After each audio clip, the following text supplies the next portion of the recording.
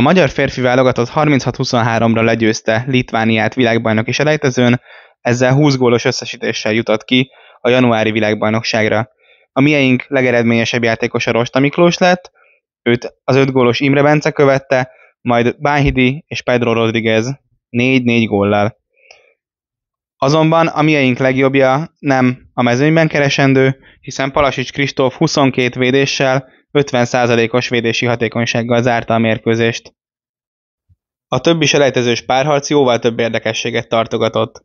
Izland, Ausztria és Portugália is kettős győzelemmel vette a selejtezőt, Észtországot, Georgiát és Bosznia-Hercegovinát búcsúztatva. És ha már kettős győzelem, hatalmas meglepetésre az olaszok Montenegróban is nyerve lehetnek ott ismét a világbajnokságon. A lengyelek, a szlovákok, míg a csehek a románok ellen jutottak ki, az első meccsen összeszedett egy gólos hátrányból. Szintén egyen nyerte az első meccset Svájc-Szlovénia ellen, de 7 méteresek után bombacsék lehetnek ott a VB-n. A szerbek három gólos győzelmet adattak Spanyolország ellen, de ez nem volt elég az első meccsen elszenvedett négy gólos vereség után.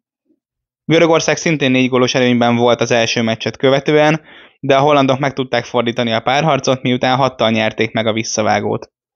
A legnagyobb fordítást az utolsó meccs hozta, ahol Észak-Macedónia az első meccsen elszenvedett 7 gólos vereséget követően 8-al verte Ferver-szigetek válogatottját.